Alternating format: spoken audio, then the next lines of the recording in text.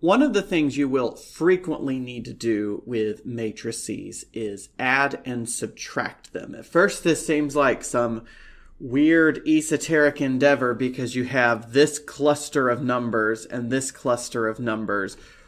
What is it that we're adding? You know, I know how to add regular numbers. Well, it turns out the way you add matrices is pretty much the way you would probably intuitively do it. You take the number in each spot in that grid and you add the numbers in the matching spots together. So for example, here we've got a matrix A and a matrix B, and uh, they both have the same top row, 1, 0, negative 1, 1, 0, negative 1. I did that on purpose. So if I were adding A plus B, I would add this 1 to this 1 to give me 2. I would add this 0 to this 0 to give me 0. I would add this negative 1 to this negative 1 to give me negative 2. Is that negative 2 for y'all? I never remember whether my camera is flipped. Uh, but then you keep going on down the line. So this 0 plus this 0 will give you 0. This 1 plus this negative 1 will give you 0. This 2 plus this negative 2 will give you 0. Again, on purpose to make a cool result. Uh, and Python can take care of that for you. So for example, let's add in a couple lines here where we're going to print the result of A plus B. So we've defined these as matrix A and matrix B. We're literally just typing in A plus B. It knows that we want that matrix addition there. Sure enough, I get 2, 0, negative 2. That's 1 plus 1. 0 plus 0, negative 1 plus negative 1.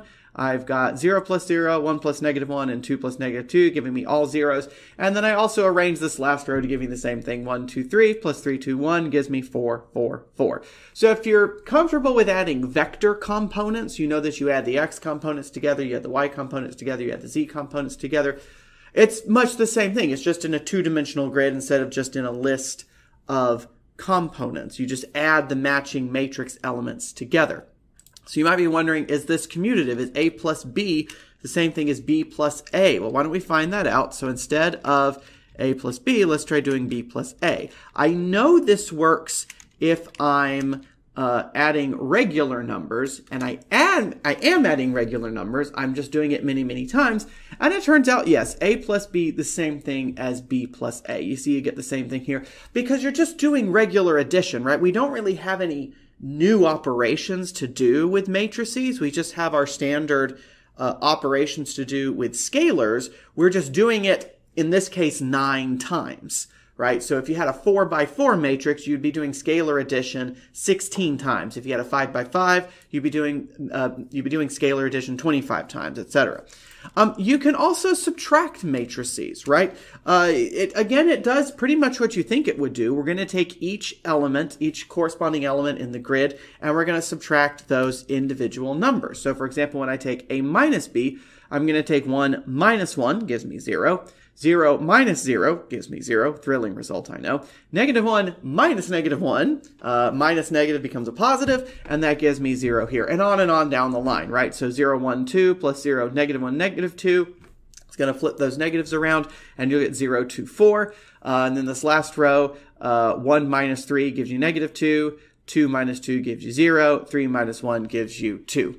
Um, and again, you could probably expect that to, you know, flip around if you change the order. So maybe you want to do uh, B minus A instead. So let's change this to a B minus A. I'm going to get the exact opposite of what I had before. So this 2 becomes a negative 2, this 4 becomes a negative 4, negative 2 becomes 2, 2 becomes negative 2, and all the zeros, negative 0 is just 0, right? It's special like that. Now you might be saying, well, if I can add matrices, what if I add the same matrix to itself, right? Like what if I take A plus A? Let's try one more thing here. So A plus A, you notice this 1 becomes a 2, the negative 1 becomes a negative 2, the 1 here becomes a 2, the 2 becomes a 4, the 1, 2, 3 becomes 2, 4, 6. It's like I've multiplied everything by 2, and that's exactly what we mean when we say something like 2 times a. So let's try this out here. We're going to add in a calculation of 2 times a. which in principle should give me the same thing. Let's see if Python is savvy enough to do that. And sure enough, it is. And so when you have a matrix, this, this grid of numbers, and you multiply it by a scalar, when you multiply it by a regular number, you're distributing that regular number into every element of the matrix. So each element of the matrix is going to get multiplied by two. Or if I wanted to take uh, a half times a, let's suppose I wanted to cut a in half, then I would just distribute that one half to everything, right? So the one becomes a half, the negative one becomes a negative half, uh, the twos become ones, the three becomes a 1.5, etc. You're literally just taking that number and distributing it to all the elements, just like you, you might expect by common sense. And so matrix uh, addition and multiplication by scalar is a nice intuitive process in that sense.